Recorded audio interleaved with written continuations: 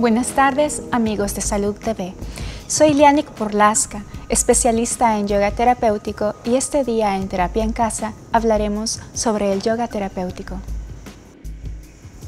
Cuando hablamos de yoga, pocas veces se nos ocurre que una de las cualidades que posee es su carácter terapéutico. Sin embargo, una de las líneas de acción del Hatha Yoga es su aplicación ante diferentes patologías. Hoy realizaremos Ardha Viparita Karani, que estira el tendón de la corva en general y elonga todo el nervio ciático desde su inicio en la mitad de la espalda, pasando por su división y arqueo en ambas piernas hasta llegar a su terminación en la planta de los pies. Nos acostamos en la alfombra y apoyamos un pie en el suelo. Tomamos el cinturón y elevamos la otra pierna hasta que llegue a posición vertical. Sostenemos la pierna completamente activa con el cinturón y abrimos los dedos del pie al máximo posible. Nos aseguramos que la pierna esté levemente rotada hacia adentro y el talón apunta directamente hacia adelante.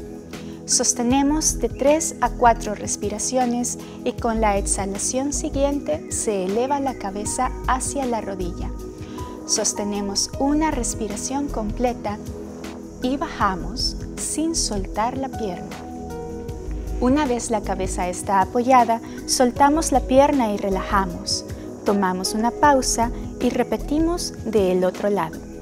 Es importante que en el momento que estamos haciendo yoga terapéutico nos movamos consciente y coordinadamente con la respiración y tomando pausas entre las posturas para permitir que toda la estructura muscular y ósea del área trabajada regrese a su posición neutral.